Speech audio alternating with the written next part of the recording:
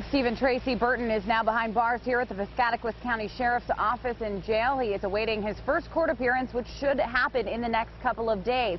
Now, 38-year-old Burton turned himself into police here shortly before noon at the sheriff's office. He has, as you mentioned, been on the run for uh, since June 5th, wanted for murder in the death of his ex-girlfriend, Stephanie Gebo of Parkman. He was believed to have been living in the woods the whole time. There were a couple of sightings, including one in early July July, where Burton was shown on a home surveillance camera in Guilford. And we spoke with Gebo's father, who called this the first time he's felt true happiness in months. But when we asked him about what he thought Burton was thinking about in the moments before turning himself in, he said he doesn't think it was guilt.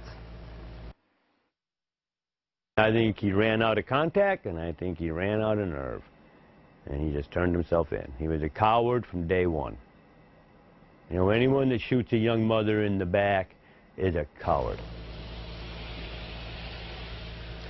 And as I mentioned, uh, he remains here behind bars, and we are expecting to see him in court in the next few days. We're not expecting to hear anything more tonight from Maine State Police or Piscataquis County Sheriff's Office. They are handing this one over to the Attorney General's office. And by the way, this is now the longest manhunt in Maine State Police history, going close to 70 days. For now, I'm live in Dover, Foxcroft. Katie Thompson, WMTW News 8.